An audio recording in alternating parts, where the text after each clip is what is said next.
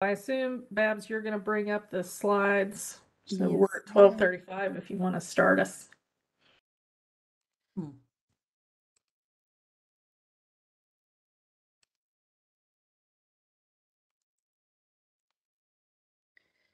All right. All right. uh, You ready? Oh, wait. All right, welcome everybody to the uh, Clinical Consultation Network. Uh, I am filling in as host today. I'm Michelle Bagby, for those of you who don't know me, uh, the Director of Behavioral Health and Crisis Services for the department. Uh, Dr. Davis is out and he has asked me to host, and I am happy to host uh, specifically the, the presentation that we have for you today. Um, I saw Katherine McLaughlin, who's going to be uh, talking with us today at the ARC National Conference in Denver. And I was blown away by the presentation. And I was like, Babs, we have to get her on CCN. So I'm very excited that we were able to do that. Uh, she's going to be talking to us today about sex education for people with developmental disabilities um, and, and covering some some material that I think is so important for all of us to to have and and some resources that I also think are amazing um, that that you'll be able to hopefully utilize with the people that you work with. Um, so with that, uh, I want to share some upcoming presentations we have on Clinical Consultation Network. Uh, on the 21st, we have John Queel Newland uh, with the Tennessee Commission on Children and Youth. And our, our very own Trey King is going to be uh, hosting that day in Dr. Davis's presence, uh, in his absence, I guess I should say. Um, on the 28th, we have a National Association for Dual Diagnosis or NAD collaboration that we're going to do our, our fourth Thursday feature or fourth Tuesday feature. Um, I believe Dr. Davis is going to be back hosting for that one. Um, on March 7th, we have uh, our very own behavior analyst within the department, Mickey Tonos, is going to be back. Uh, and then on March 14th, Patrice Coleman with the National Department of Emergency Communications is going to be on uh, talking about the Rapid SOS program. So that's what we have coming up on the Clinical Consultation Network. Now I'm going to turn it over to our guest, Katherine McLaughlin, to introduce herself. And don't forget to give us a fun fact about yourself in that introduction. Uh, and then we will let you take the stage as far as your presentation goes. We're really excited to hear. Great, thank you. Uh, so I'm Katherine McLaughlin. I've been a sexuality educator and trainer for, for over uh, 25 years. And what it kind of came about when I, I was working for a family planning agency and um, a lot of people were reaching out to me saying, how do we work with people with intellectual developmental disabilities?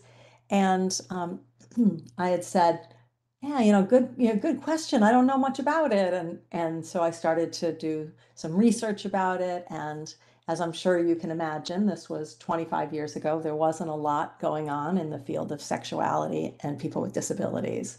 Uh, but things are changing now, which is which is exciting, um, and hopefully will impact some of the the negative consequences of the lack of education.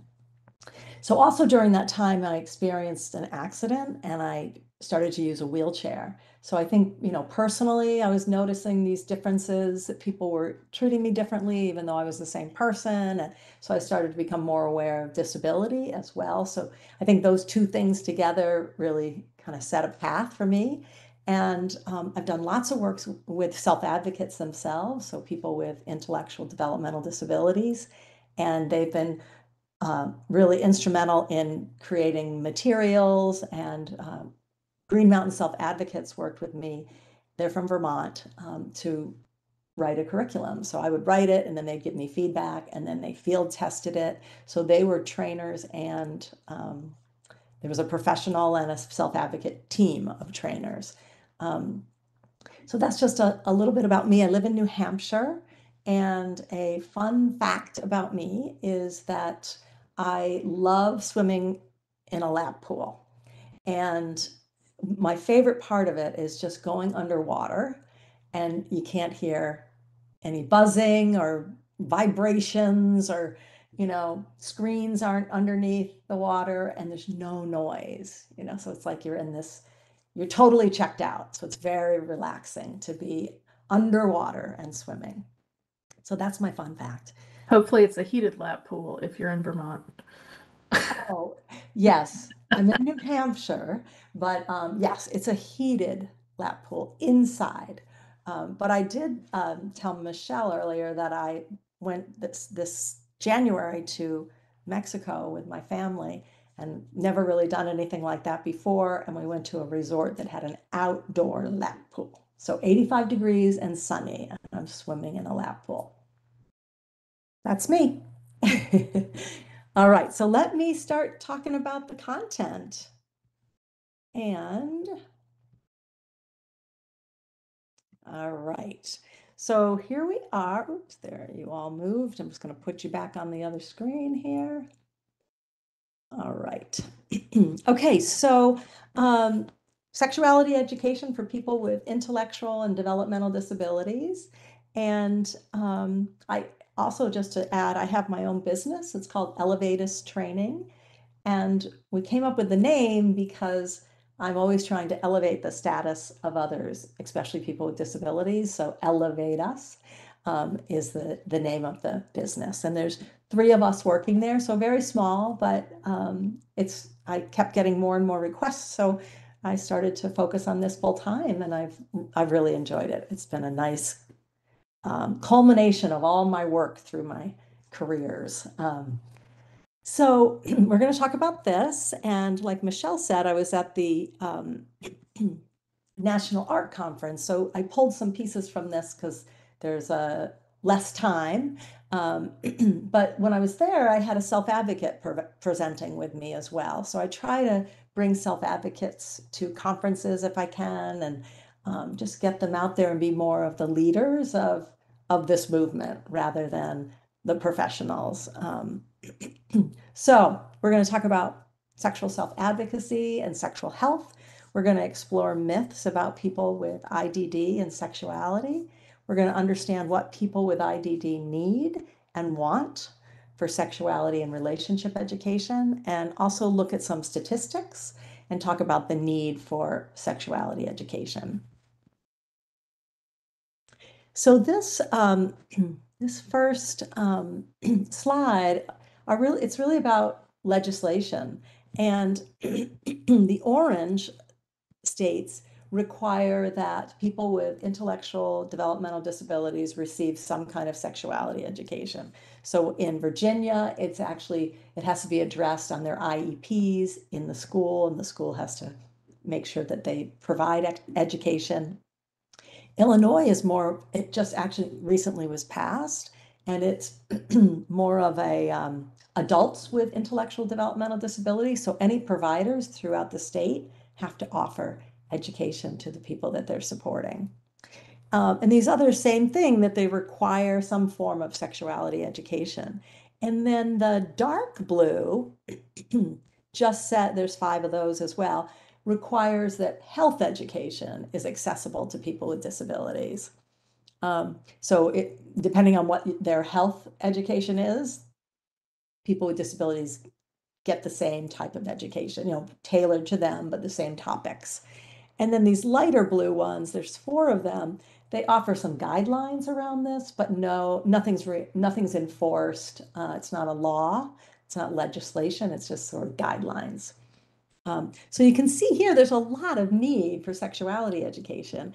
And my, my dream is that all these states are orange eventually so that it's required because when you have legislation behind you, um, you have to do it, right? And so all the barriers kind of go away because it's a requirement um, that you do this. So um, that's part of it.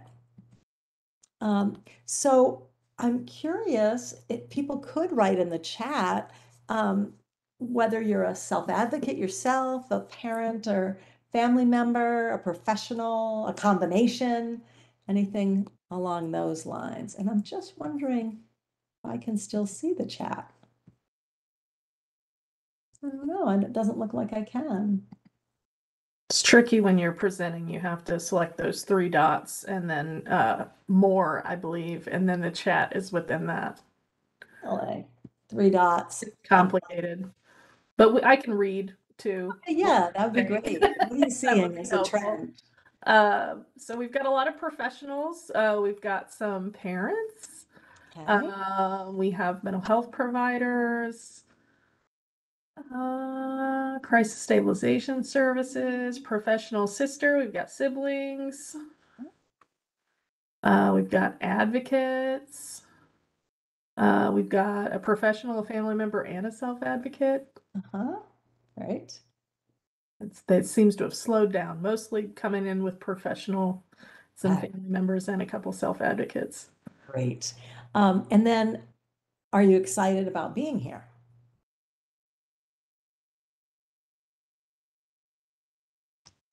We're definitely getting yeses on that one. Myself included, very excited. Um, and I guess the other thing is, do you know everything there is to know about sexuality and relationships?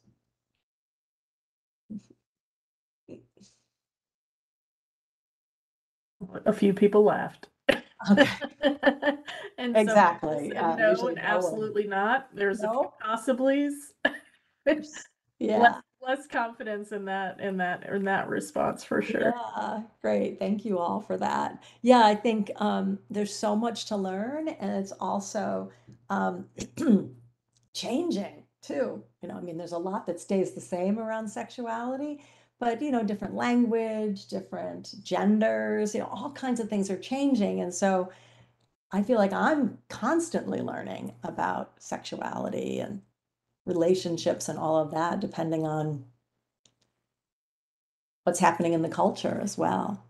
Um, so I think one important piece is we often think of sexuality, we think of sex right away. Um, but there's there's a big difference between the two.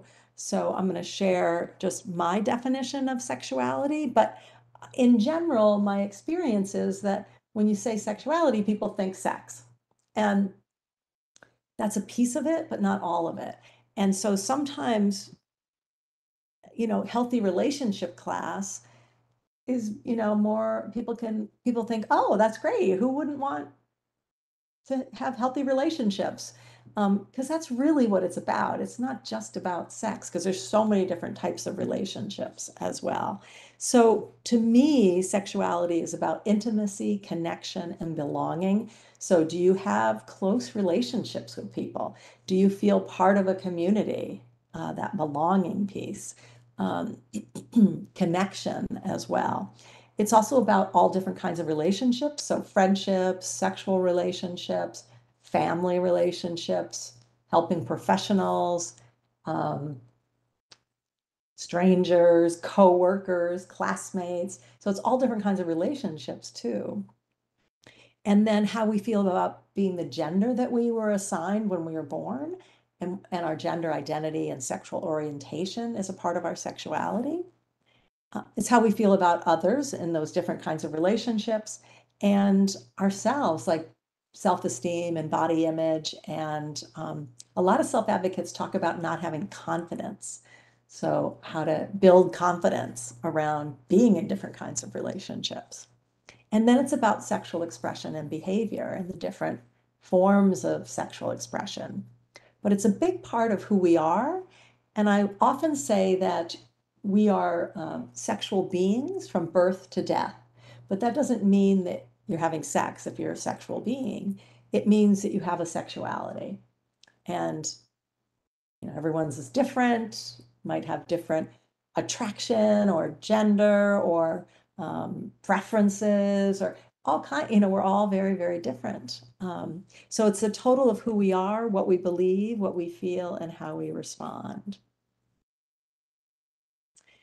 so i'm going to talk about um, you know why is it important for people with idd to learn about sexuality and relationships and this is the you know kind of sad part about it all but um, people with disabilities I, the ones i worked with in, at green mountain self advocates I talked to them about um, why do you want and need to learn about this? So their voices uh, are really loud and clear that they want this kind of education. And just an aside, I'm doing a eight week class with a group of self advocates online in New York, New York State for a grant, and we we had a cap of 15 and we're up to like 50 that have signed up already. So there is a huge need, um, and people, I mean, the flyer's been out four days or something, so, um, we started a waiting list. But some of the things that self-advocates say is, so we can learn to have healthy relationships, so we aren't lonely. And again, there's that intimacy, connection, belonging, not feeling isolated. Uh, so we can make informed choices. Um, so first of all, so we can make choices, and then they're saying, you know, I want informed. I want to be informed so I can make choices. Um, so we can pick the right person for the toughest part of the relationship, making it last, so we can be safe because we all have desires and needs, and that's okay. So that people know their rights, so we can become sexual self advocates, not just self advocates. And a lot of um, a lot of the the the barriers for people with disabilities, and not all, but some parents or some professionals don't feel comfortable. And I'll be talking more about that. But the self advocates say it's more the reaction that they get from uh, people around them that makes it difficult to speak up for what they need. Um, so I think that's important to know our reactions. You know, we'll say, if they say to someone, I want to start dating, they kind of like, there's silence and discomfort and, oh, uh, but if they ask for to get an apartment or get a job or something, people say, "Oh, great, let's talk about what. Yeah, what are you interested in?" And um, and that we want to try to think about it that way, like, "Oh, great, you want to start dating? Tell me more about that," um, and be positive about it rather than fear based, which many messages that we all received around that were fear based messages, and we'll talk about that as well. And then there was a, a few self advocates in Illinois that say, I want to learn, I want to know more so I can decide what is right for me. So that informed choice, my body, my choice. I didn't receive any education in schools or from my provider. I learned by the school of hard knocks.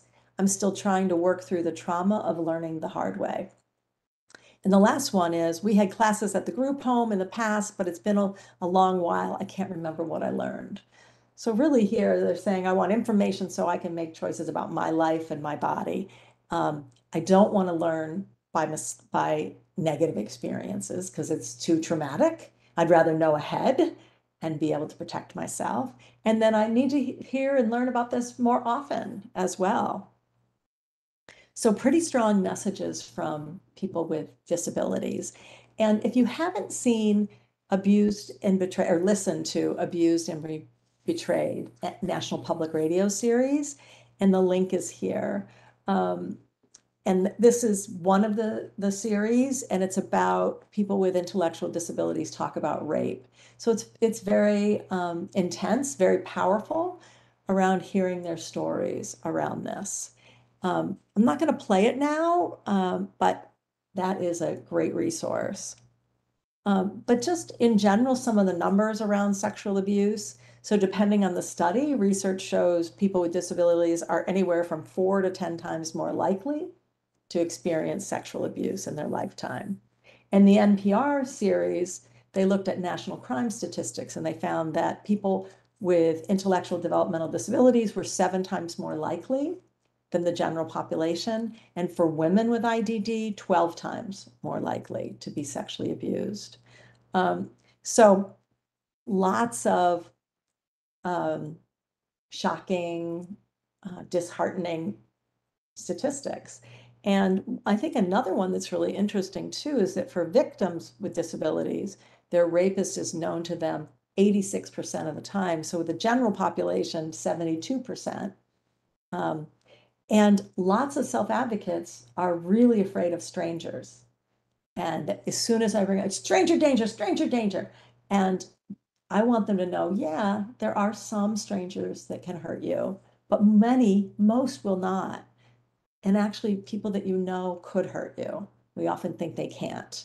Um, so, just some of these statistics are important messages that we want to give people with disabilities. And I, it's never a person with a disability's fault if they get if they experience sexual abuse. The reason the abuse happens is the abuser abuses. Um, but I think it's also important to look at well, why are people at risk? um, because many people say that um, uh, perpetrators think of someone with a disability as the perfect victim. So why are they the perfect victim? And here are just some thoughts. So lack education on healthy relationships and sexuality. So often don't have basic information. Um, and some examples of those are I was working with someone who was 50 years old who had um, did not know how babies were made at all. Um, so just general lack of education. Um, people are often think of them as not sexual at all. They don't, they're not interested in any of that, which is why they don't get education. Or they're thought of as oversexed. And so people try to control that oversexed self and by withholding information. Um, and sometimes people think they can't consent or understand. So this often leads to people being taken out of classes. Self advocates have told me they're in the mainstream health class learning about physical activity. And then the sexuality unit starts and they're removed from class. Um, so lack basic information and also often lack language, which recently someone told me about um, a woman in a day program that said he keeps touching my purse. So they would take her purse and they'd put it in, you know, a drawer, try to like give her some privacy for her things. And three weeks later, they finally discovered that purse was her her nickname for her vulva. So had she known these terms, she could have just said, "He keeps touching my vulva." Um, then we, we who and what's what's happening, you know. Um, so that language piece, and the another piece with language is sometimes around gender identity and sexual orientation. So there's sort of this belief that pe- people can become gay or trans or whatever. That it's that um, you know don't give them the language because then they won't get any ideas. And you know people with dis- disabilities or not are born with a certain sexual orientation and gender identity. And so um, not knowing the language to sort of figure yourself out, your identity, um, can be really hard for people too when they don't know the words because people are, are not giving them the words. Often not thought of as adults, but considered children. And we really want to think about people, the age that they are. And so what if they're 20 years old, whether they have a disability or not, they need the same information based on biological age. Um, how you teach it would be different based on their cognitive abilities and limitations and things, but not what topics necessarily. Um, so we and we also want to treat um, treat have expectations for them so that they understand kind of the social norms and things. So if we if we forgive behavior, we're treating them like children. We're treating them like we do, you know, two year olds who crawl up on your lap or something, thinking that you're their father or mother or, you know, a parent of or guardian or something. We think, oh, it doesn't matter. They don't, they didn't mean anything. But we really want, because then that sets them up for being potentially victimized, that they don't know the rules that we we have in our culture. So we want to teach those rules as well. So part of sexuality and relationship education is some of those social norms um, and boundaries. So, uh, so unhealthy boundaries, yeah. Oftentimes we protect instead of educate. And another thing is that oftentimes people aren't believed when when you report. So no education that meets their need due to the nature of their disability. So if they're in the mainstream health class, they may not be learning about how do you pick up on uh, body language and things like that, because that's a skill we think everyone has, but maybe based on their disability, they um, they don't have those skills. So sometimes we have to teach some of those skills as well. And then no so social opportunities or relationships beyond family and staff. So often lack friendships and so uh, social opportunities to practice being in relationship and learning what the social norms are. Um, and may even miss out on some form informal learning. So maybe you all learned about sexuality and relationships from your friends. And I'm not saying it was always accurate, but you got something out of that.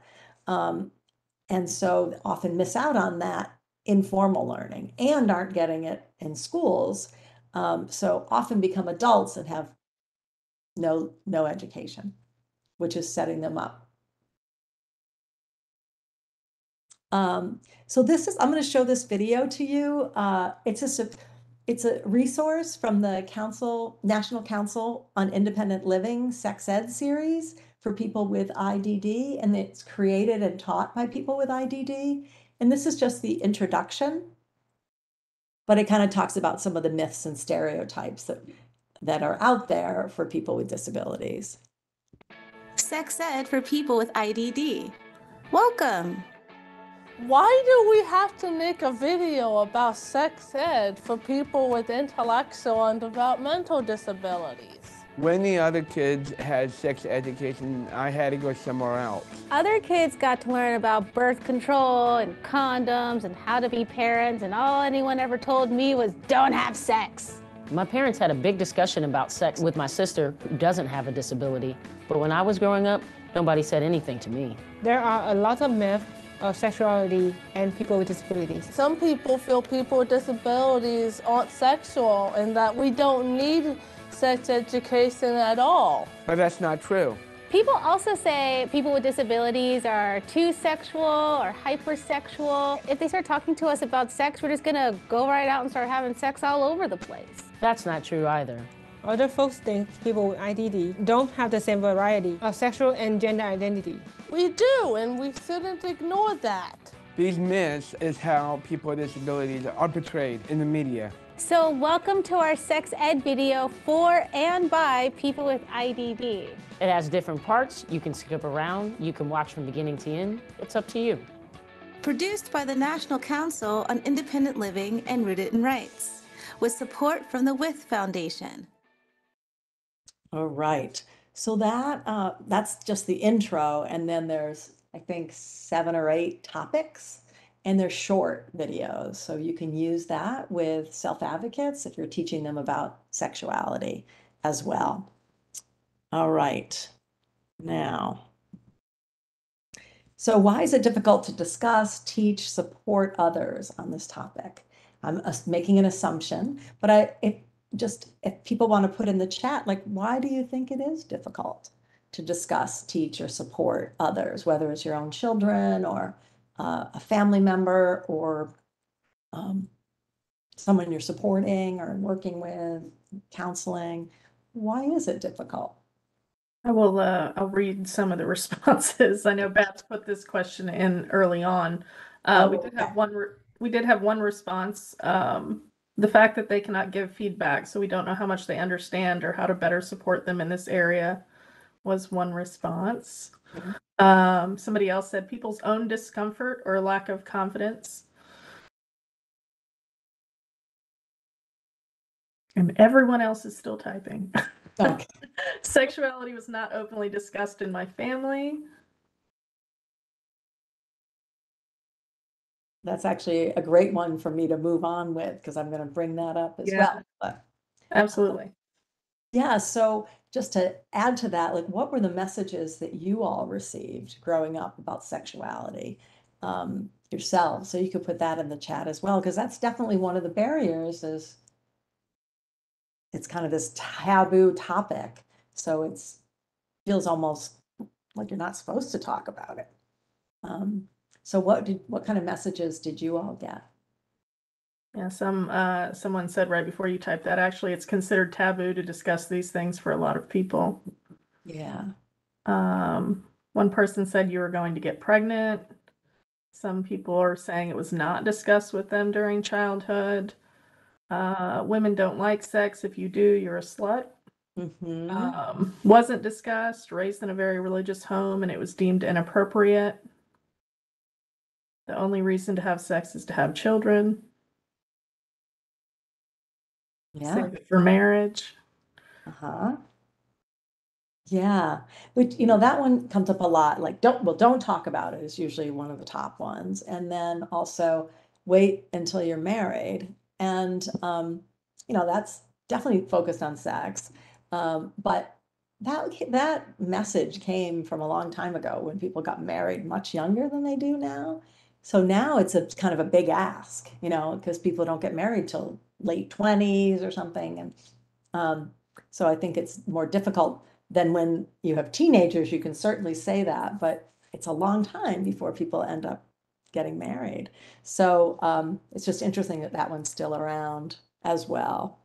Um, and the other ones that come up a lot are, well, I guess just in general, um, Michelle, on the list, were there any positive messages that people received about sexuality?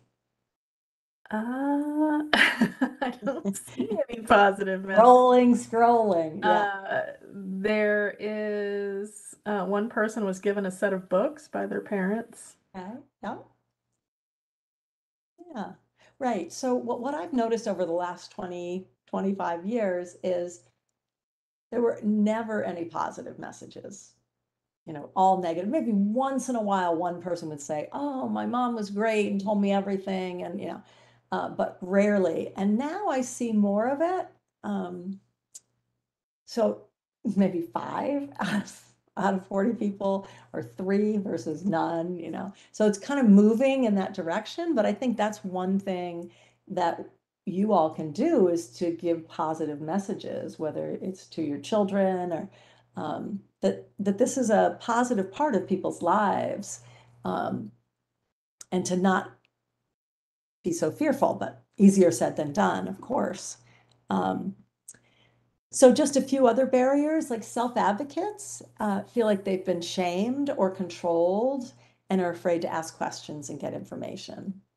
So that's a personal barrier. And, you know, many may not believe they have the right and no one will talk to them because they're not sure how to do it and are scared to talk about it. Um, they worry that it might give them ideas and believe that if we talk about it, they'll do it, which is not true. And research shows that talking about it, people get more information and uh, are less likely to engage in sexual behavior. And if they do, use protection. So we know that sexuality education has positive results, comprehensive, medically accurate sexuality education. And others worry it will only cause pain and they will be taken advantage of.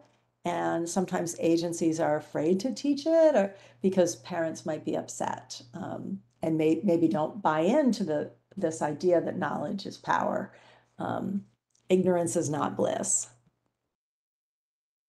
So just a couple things around sexual self-advocacy. So if self-advocacy means taking the initiative to speak up in your everyday life to improve your situation, change the story, or help someone else, what does sexual self-advocacy mean to you?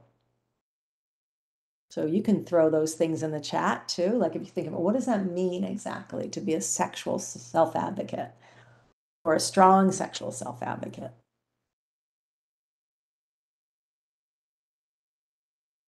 They're typing. uh, I can answer. Uh, my answer would um, just having information about, you know, your body and your rights and your ability to consent or not consent. I Mhm. think is an important part of self advocacy. Sure. I'll put, I'll put the sort of a summary of the definition and I think I put this in the handouts, but I might not have, but I will. This is just a summary of the bigger definition that Green Mountain Self Advocates came up with. But really, it's two two parts. It's speaking up for your right or your desire to be in a relationship. And then within a relationship as well, like you were saying, consent. So it's speaking up for yourself sexually, uh, getting information is being a self advocate is saying, I want to learn about this. Uh, taking a stand, saying to whomever, this is my choice. Stating your sexual limits and desires with your partner, respecting others' limits and desires, starting to do what you want with relationships. So, Michelle, I don't know if anything was added around. Yeah. Yeah. So deciding on when, where, and who you want to be intimate with, changing your mind at any time. Great. Yes, right. So there's a lot around consent. Um, and I, I'll make sure that that pamphlet is in there. Um, But self advocates say it's harder to be a sexual self advocate. And I mentioned that earlier because of people's reactions to the request or talking about it, or um, so that makes it more difficult. So I often use this framework around sexual self advocacy. So what what are the beliefs that are needed to be a strong sexual self advocate? So you were just talking about what does it mean to you, but for me, there, there's beliefs we have to have in order to be a strong sexual self advocate. And what what does a strong se- sexual self advocate know? What knowledge do they have? And then what skills do they have? And so I often use that framework, like starting with beliefs. Um, and what I'll show you is here's just some examples of beliefs, but it's my body, mind, and life, and I get to decide what's right for me. And I think the reason that's so important is if we talk about something like consent or healthy relationships, information isn't enough. You have to believe that you have bodily autonomy and that you get to decide. And many people with disabilities don't get to decide often. And so, anytime we can provide choices, that's going to help them realize that they're in charge of their lives. Um, I do a, in the curriculum, I do an activity from a Planned Parenthood in California where we do this name tag game. So people put their name tag either on this side or this side so we can learn their name and and then say that's right it's your body you get to decide what's right for you and then the next time they're in class i tell ask for a volunteer and you know put your name tag where you want it and then i say you know i'm the teacher i think you need to move it and they always move it even though i've told them it's they get to decide where the name tag goes it's their body but an authority figure they feel like they have to do what they're told. So really having that belief that no, you can't tell me what to do with my um, name tag is is a great. It's a lot of it comes from that belief that they're in charge. Um, so those are just some examples. It's okay to ask questions about sexuality and relationships. Learning about sexuality helps me make healthy decisions in my life. Everyone is a sexual being, including me. Lots of other things. Uh, even if you've had negative experiences, even if I've had negative experiences, I can still be healthy as well, rather than, oh, I shouldn't talk about this, or um, I should always listen to my teacher. Those are the beliefs that wouldn't make a strong sexual self advocate. So I often have self advocates think about what are their what are the important beliefs to have to be a strong sexual self advocate and I have them look over the list we create and think about which ones do you have? Which ones do you struggle to believe? And they're really open about, you know, I, I feel this way, but I don't, that other one I don't really believe yet because I always get the message that I'm not supposed to talk about it. So looking at beliefs and then knowledge is power. So that what does a strong sexual self-advocate need to know?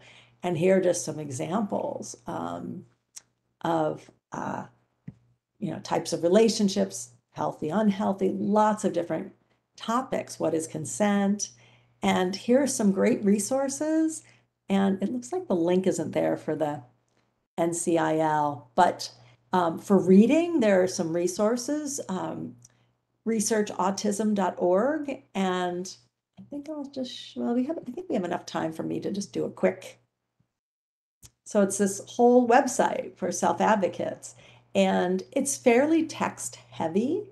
So if we go to um, healthy relationships, you know, it's a lot of reading. So the nice thing is they have a podcast too of all of the um, all the different episodes so that you can listen to a podcast if someone's not a really strong reader or they like listening more than reading. Um, so that's something to see.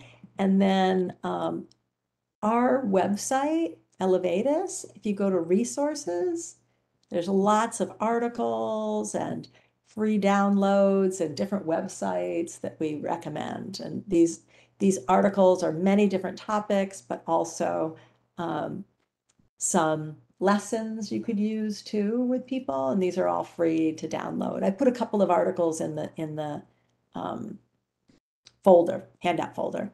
and then this is also uh, Sex Talk for Self Advocates. And I was one of the presenters, and we did lots and lots of different topics. And you could listen to a webinar with someone and talk about it. And there's a guide for how you could use the webinars as well. But actually, and also towards the end, the last ones, we had a lot of self advocates come on and be part of the presentation. And this last one is um, sexual self advocacy.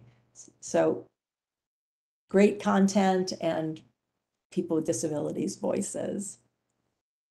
And I already showed the podcast. And then the last one is that you can Google NCIL sex ed for people with IDD and you'll see the list of videos. So that's just, you know, so if you're thinking about knowledge, what's the knowledge that people need to learn, even sometimes for yourselves to look at these websites to see what are all the topics that are talked about too. So that's another resource for getting teaching more knowledge. All right. And skills, lots and lots of practice speaking up, really. You know, it, the more we practice, the better we get at it. Um, how do you advocate for your rights to be in a, any relationship that you choose? How do you speak up in your relationships? How do you speak up to staff or your parents about what you want and, and your relationships? And these are just some tips on speaking up to staff and parents, but I want to move on to some just some tips for parents and tips for staff or professionals. Um, so this is just some ideas around um, speaking up. And also this whole piece about becoming a peer educator too. We're trying to train more and more self-advocate professional teams to lead sexuality education classes. There's a project in Michigan that has, and these are lower numbers, they have many teams of self-advocate professionals teaching classes all over the state of Michigan. All right, so parents. Um, I think one thing that's important is that sexuality education is sexual abuse prevention. So the name tag, even though we're not talking about sexual abuse, it's about bodily autonomy and when, you know, you get to decide. Um, and that knowledge is power. And I did put an article in the in the folder as well on knowledge is powder power, sorry. It's also important for you to talk about sexuality because as parents, we give our values too. And so that's an opportunity to talk about what you think is okay or not okay and why as well. So you talking to your own children or family member, you're sharing values, which are important. There's a lot of sexuality education. We don't, I don't teach my values or anything. I, I teach common values like about respect and kindness, um, but around sexual things, um, I'm values neutral. Uh, and so it's great for parents to talk about it. It doesn't give your children ideas, but knowledge and skills to make informed choices. And if we don't teach healthy sexuality, someone else might teach unhealthy sexuality, the media, um, a person, you know. So I know it's difficult, but you could also have a backup person too. You know, maybe it's somebody that's supporting your child, um, either they're young or grown, and someone else that um, can talk, be the person to talk to your child. So they're not just getting um, media messages. And and the other thing is um, restrictions and control do not work. And self-advocates say that they, they actually make them more risky. So they if someone tries to restrict and this is either parents or professionals then they go around them. And so they do things they're not supposed to do um, and then what if something bad happens they don't feel like they can come back to anyone to talk about it, to figure it out, because they were somewhere they weren't supposed to be. Um, so I think, you know, when we think about controlling and restricting, because we're scared, I get it, we're really scared, um, it can backfire. And self advocates say they're way more risky um, when people control or, or um, restrict them. And there's an article that um, is in the folder as well about this study where they talked to different self advocates about what they wanted and what was happening. Um, and just some things to consider as a parent, you know, notice how you feel when you're thinking about discussing this topic. You know, are you anxious, happy, stressed, scared, joyful? Um, and we want to try to, if we feel any kind of negative feelings, it may come across. Um, and we might give this message that we won't talk about it and we want them to talk to us um, rather than a friend maybe or not know anything at all. So um, we want to try to be open and non-judgmental and and hear what what um, our the people in our lives are looking for. And there's also some resources for parents in the handouts as well. It's actually parents and professionals and focus, you know, not only sexual abuse prevention, you know, there's other parts of sexuality than just preventing abuse, but it is part of it. Um, they need relationship and communication skills, and we need to come at it from a a positive, not negative place or fear based. So if you saw the movie Mean Girls, the gym teacher is teaching about sexuality and sexual relationships and he says if you have sex you will get chlamydia and you will die right? So these like fear um, and again the control and restrict. And then for professionals all those things except sort of the values piece focus on being positive uh, keep your values to yourself because it's not our job as professionals to share values um, teach facts and help uh, help them make their own decisions, sort of like supported decision making. Um, so, what would be good about that choice? What would be negative about that choice? And exploring choices. And I already showed you the resources. So, lots of good stuff for both parents and professionals. And then I think one thing for everyone is you know, the positives of providing sexuality education is self advocates feel empowered and make decisions about what they want in their lives. It reduces sexual abuse, charges of sex crimes, loneliness, sexual behaviors at work, unplanned pregnancy, and sexually transmitted infections, and increases connection and healthy relationships. And you're making a difference in the lives of people with IDD. And the con, there really are no cons, but the cons are us we're you know they they hit us right? Like we might feel uncomfortable if someone mentioned why it's difficult um, or people could get upset with us. But when we're really thinking about the individual there's so many benefits to them and so few negative for us. It's it, to me it's kind of a no-brainer but i am in the field so um, but just sort of comparing those two i think is important. If we're really focusing on supporting someone else um, it might be uncomfortable, but people say it's a lot easier than they thought it was going to be, and it gets easier and easier and easier the more they talk about it. So just a couple things here. This is um, the self uh, the the a committee that put together some sexual rights. Um, and I wanted to show you what they are and then show you a video. And then I don't, we'll, open it up for a few questions, I guess. But here are some different rights that self advocates created. So I have the right to say what happens to and with my body. I have the right to privacy and showing and sharing my sexuality. So lots of different ones. Um, and on our website and the resources, we did a different sexual right every month. So some ways that you can support either as a family member or a professional supporting someone, uh, ways you can do it to, to help them make sure their their rights are being honored. But there's lots of different rights here to take a look at. And so we created these 10 rights. So there's an article on each one and um, how you can teach about it. But this last video, uh, I don't know if you've seen it, um, but the uh, just the two of us, it was for um, World Down Syndrome Day.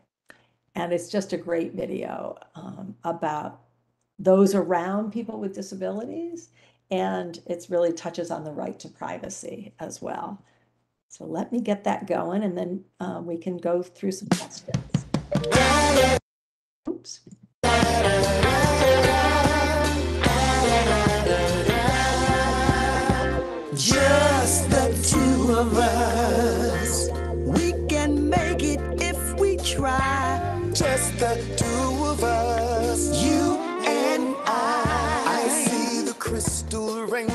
Fall. And the beauty of it all. And when the sun comes shining through. Just the two of us. We can make it if we try. Just the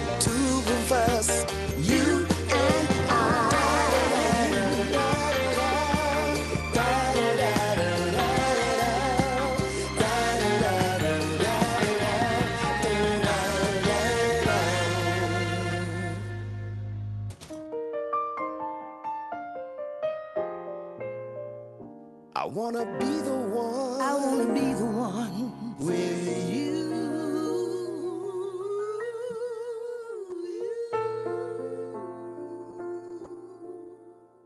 It's my favorite video right now.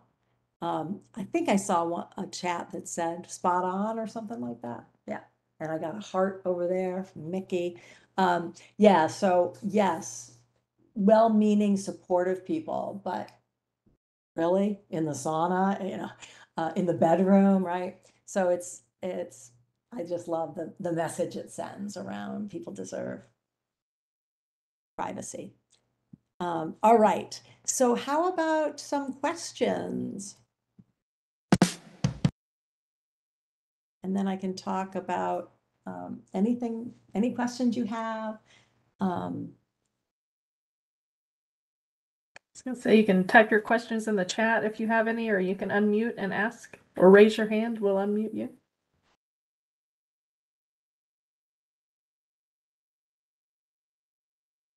While they're thinking about their questions, I will say, uh, I love this topic. Uh, obviously, I, I was like, we need to have her here. Um, so important. Uh, you know, that we one of the things that we do in a in a program that that we operate for mental health here um, is teach about different aspects of well-being, and relationships is one of those. Um, and I like how you touch on all the different types of relationships and romantic relationships. And we certainly see a lot of situations where uh, avoidance uh, to protect is is the case. Um, so I just really appreciated, you know, the resources that you shared and the self advocacy piece, um, Right. and the especially the the sex education that was for and by people with IDD. I thought that was uh, really remarkable as a resource. So I just appreciate you coming on. We do have a couple of comments at least. Um, Great. uh, well, I don't know if there's a question. Somebody said something about meeting people on the internet. um, wonderful presentation. One question How do we negotiate conservator insistence on um, cis conformity or abstinence, etc.? Yeah, so in, in this state, it's guardianship, but I, I know what you're talking about. I think it depends on, I know it depends on the state. Um, and I don't, I haven't, I'm not really familiar with Tennessee. Um, is that most of, is that where most people are from?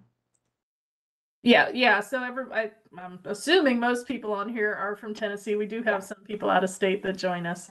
Um, but yeah, I would say the Yeah. majority is from Tennessee. So I think first thing is, um, seeing a copy of the, of the guardianship conservatorship to see what they are respond, what they're entitled to make decisions about. Um, because sometimes guardians don't realize their role. And they, and, and if they're a parent too, they could be just acting like a parent, right? Where we worry about our kids and we want to protect them and, um, so making sure they are the guardian conservatorship, um, what are they entitled to make decisions about? And um, I think also, you know, one of the workshops I do is working working with parents and partnering with parents. So how do you talk to parents in a way that they feel respected and um, will partner with you? And yeah, so I think that's an important piece if it's the parent, um, the guardian.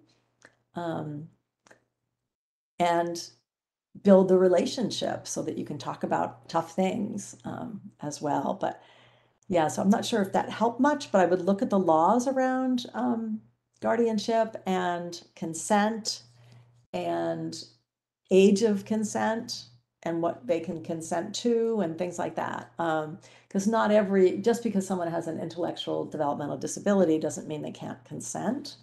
That tends to be where people, the default is that they can't and they have to prove to me that they can. But um, that's kind of, I'm always saying assume people can unless otherwise demonstrated.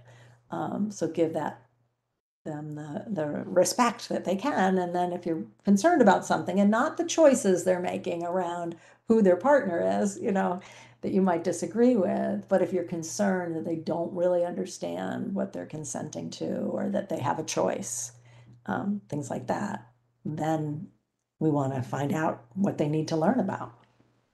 Yeah, I wholeheartedly agree. I think um, building the relationship with you know that that person who who may be struggling with you know just being accepting of of that part of of that person or or their um, son or daughter or, or child.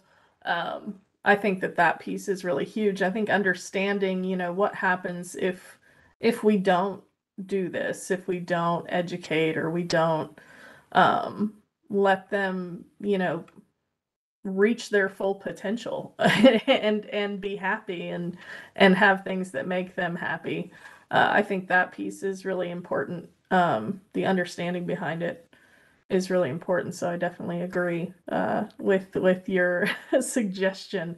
Um, i do want to say though um, just because i have an opportunity to plug it uh, the dd council and several other um, LGBTQ plus uh, providers in Tennessee, um, advocates in Tennessee have created a section of Pathfinder now that is specifically for LGBTQ plus um, resources, whether it's mental health, whether it's affirming providers, um, whether it's peer supports. So I'm going to put the link to that in the chat box because I think it's important to share information like that. And those are specific uh, to Tennessee, but just a really cool resource um, to share because I know there's not uh, always a lot out there uh, in that regard specific to our population, and this this resource is. So I put that in the chat just for for people to have also.